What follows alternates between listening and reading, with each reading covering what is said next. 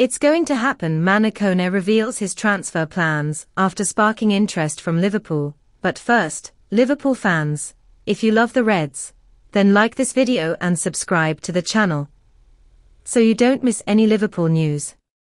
Borussia Mönchengladbach midfielder Manu Kone makes a surprising revelation in light of Liverpool's interest in his signing this summer. Following medical examinations, it was confirmed that the midfielder will be sidelined for approximately six weeks. Despite this, the 22-year-old remains optimistic and is taking advantage of the time off the pitch to take part in a tournament in his hometown of Villeneuve-la-Garenne in France. Kone is focused on his recovery and his future, with a contest set up for the local community. The question of his future has entered the conversation. In an interview with L'Equipe, he said, In my head it's quiet, very easy all this, everything is fine. Imposing Liverpool fans, already leave your like on the video, for Liverpool to grow today and always. Thank you very much. The more you think about it, the more you stress. Then you sleep less.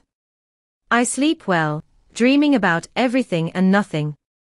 It's going to happen what's going to happen, I'm confident, it's not at 22 that I'm going to cry.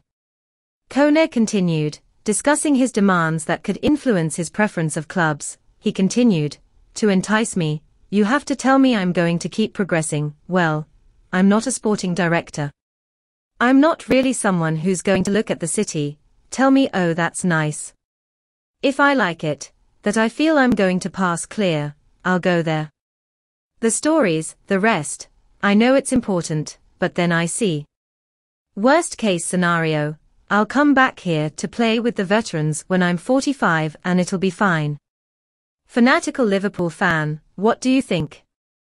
Would Kone be a strategic choice to strengthen Liverpool's midfield, or waste of resources?